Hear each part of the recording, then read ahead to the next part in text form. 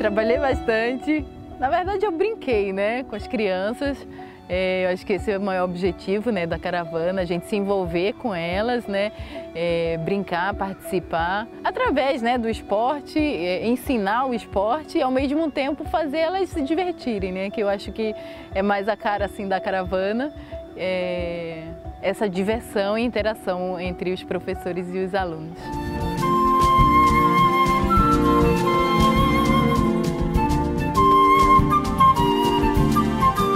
Futuramente eu pretendo estar né, tá trabalhando com, com as crianças em projeto social. Isso daqui é o que eu gosto de fazer. É muito legal, é muito legal. Elas são né, ligadas 220.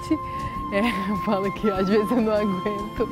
Calma, calma. Com 17, 18 anos já comecei a participar de campeonatos né, brasileiros e comecei a ganhar é, as competições nacionais. E no salto em distância, minha melhor marca, é, o recorde pessoal é 6 metros e 88 e no salto triplo 14,58. Esse ano foi um pouco mais difícil, né? Eu tenho sofrido um pouco com lesões, acaba sendo a parte chata, né, do atleta. Então você faz mais ou menos porque tá doendo, porque é, você tem que adaptar. Mas o que, assim, o que a gente sonha é muito grande, né? A gente sempre quer se superar, mesmo com lesões, a gente sempre pensa em fazer o melhor. E penso sim ir para minha quinta Olimpíada.